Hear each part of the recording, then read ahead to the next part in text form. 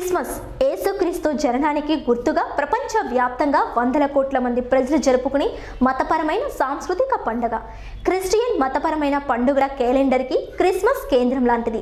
క్రైస్తవ క్యాలెండర్లో అడ్వెంట్ పశ్చిమ క్రైస్తవం లేని నేటివిటీ తూర్పు క్రైస్తవం ఉపవాస దినాల తరువాత వచ్చే క్రిస్మస్ క్రిస్మస్ టైట్ చారిత్రాత్మకంగా పశ్చిమ మాన పన్నెండు రోజుల పాటు ఉండే పండుగ రోజులివి. పన్నెండవ రోజు రాత్రికి ఇవి తారాస్థాయికి చేరుకుంటాయి అని పిలిచే సీజన్ ఆరంభంగా నిలుస్తుంది. కొన్ని నిబంధనలోని సాంప్రదాయానిక క్రిస్మస్ కథనం ప్రకారం రక్షకుని గురించిన జోష్యాలను అనుసరించి జోసఫ్ మేరీ బెత్లహేం వచ్చినప్పుడు వసతి గృహంలో గదులు లభ్యం కాకపోవటంతో పశువుల శాఖలో వారికి ఆశ్రయం దొరికింది. అక్కడే క్రీస్తు జన్మించాడు. దేవదూతలు ఈ విషయాన్ని పశువుల కాపర్లకు చెప్పగా వారు సమాచారం మిగిలిన వారికి చెప్పారు. ప్రపంచ వ్యాప్తంగా అనేక దేశాలలో క్రిస్మస్ సెలవు రోజు. ఈ పండుగను క్రైస్తవుల్లో అత్యధికులు మతపరంగాను క్రైస్తవేతరులు సాంస్కృతికంగాను జరుపుకుంటారు. పశ్చిమ నెలలు సెలవుల సీజన్లో అత్యంత ముఖ్యమైన భాగం ఇది. క్రీస్తు ఏ నెలలో ఏ తేదీన జన్మించుడన్న విషయం తెలియకపోయినా నాలుగవ శతాబ్ది మధ్య భాగం నాటికల్లా పశ్చిమ క్రైస్తవ చర్చి క్రిస్మస్ను డిసెంబర్ ఇరవై ఐదు నాటికి నిర్వహించడం సాగింది. ఇదే తేదీని తరువాత తూర్పు క్రైస్తవం కూడా స్వీకరించింది. కాలంలో క్రైస్తవుల్లో అత్యధికులు గేగ్రోరియన్ క్యాలెండర్లోని డిసెంబర్ నెల ఇరవై ఐదవ తేదీని నిర్వహించుకుంటారు. ఏదేమైనా కొన్ని తూర్పు క్రైస్తవ చర్చిలు పాత జూలియన్ క్యాలెండర్ ప్రకారమే జూలియన్ డిసెంబర్ నెల ఇరవై ఐదవ తేదీన అంటే ప్రస్తుత గేగ్రోరియన్ క్యాలెండర్లోని జనవరి ఆరవ తేదీన జరుపుకుంటారు. ఈ తేదీ తరువాత రోజుని పశ్చిమ క్రైస్తవ చర్చిలు ఏపీ ఫనీ అనే పండుగ చేసుకుంటారు. అయితే ఇది డిసెంబర్ ఇరవై ఐదు తేదీ పైన అనంగీకారం కాదు. డిసెంబర్ ఇరవై ఐదవ తేదీని ఏ క్యాలెండర్ని అనుసరించని నిర్ణయించాలన్న అంశం పైన తూర్పు క్రైస్తవుల్లో కొందరికి జులియన్ క్యాలెండర్ మీదున్న మొగ్గు ఇది. పైపెచ్చు క్రీస్తు సరిగ్గా ఏ తేదీన జన్మించాడో అదే తేదీన పండుగ చేసుకోవాలన్నది క్రిస్మస్ ప్రధాన కారణం కాదని దేవుడు మానవ రూపంలో మానవ జాతి పాపాలను తొలగించడానికి భూమి చెడన్న కారణంగానే క్రిస్మస్ జరుపుకోవాలని అదే క్రిస్మస్ పండుగకు ప్రధాన ఉద్దేశంగా ఉండాలని సిద్ధాంతం. వివిధ దేశాలలో క్రిస్మస్ పండుగ సందర్భంగా నిర్వహించే వేడుకలలో కొన్ని క్రైస్తవాలు పూర్వం పద్ధతులు కొన్ని క్రైస్తవ పద్ధతులు కొన్ని లౌకిక విధానాలను అనుసరిస్తాయి.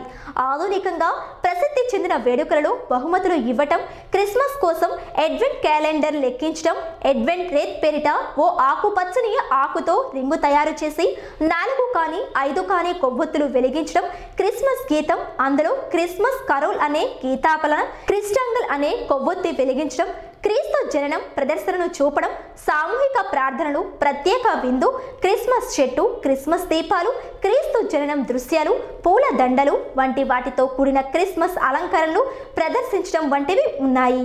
దీనికి తోడు ఒకదానికొకటి సన్నిహిత సంబంధం ఉండేలా Santa Claus Father Christmas Saint Nicholson Christkind వంటి పాత్రలు పిల్లలకు బహుమతులు తీసుకురావడం వంటి వివిధ సాంప్రదాయాలు జానపద గాథలతో కూడిన క్రిస్మస్ సంస్కృతిలో భాగంగా ఉన్నాయి. బహుమతులు ఇవ్వటము అలంకారాలు చేయటం వంటివి ఆర్థిక లావాదేవీలను పెంపొందిస్తాయి కనుక క్రిస్మస్ సెలవులు పలు దేశాలలో వ్యాపారులకు అమ్మకందారులకు కీలకమైన ఈవెంట్. ముఖ్యమైన వ్యాపార సమయంగా మారింది ఈ పండుగ. క్రిస్మస్ పండుగ ఆర్థిక ప్రభావం గత కొన్ని శతాబ్దాలుగా ప్రపంచంలోని అనేక ప్రాంతాలలో స్థిరంగా పెరుగుతుంది. ప్రభునాములో మీ అందరికీ శుభములు కలుగునగాక. రెండు వేల ఇరవై ఒకటో సంవత్సరము నూతన సంవత్సరంలోనికి మనం ప్రవేశించబోతున్నాం.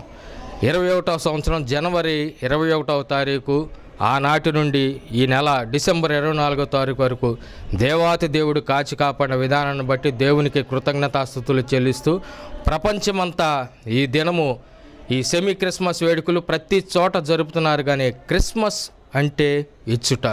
క్రిస్మస్ అంటే సంతోషాన్ని పంచుట. క్రిస్మస్ అంటే ఆనందాన్ని పంచుట. క్రిస్మస్ అంటే ప్రేమను పంచుట. అందుకని యోహాను సువార్త మొదట ఆది అందు దేవుడుండును వాక్యము దేవుడైనను. వాక్యము దేవుని దగ్గర వచ్చి ఉన్న ఆ మాట ప్రకారము. దేవాతి దేవుడు తన ప్రియకుమార్ని ఈ లోకానికి మన కొరకు ఎందుకు పంపించి ఉన్నాడంటే మానవుడు చేసిన పాపముల నిమిత్తము శరీరధారిగా మానవతామూర్తిగా ఈ లోకములో ఆయన ఉద్భవించినది.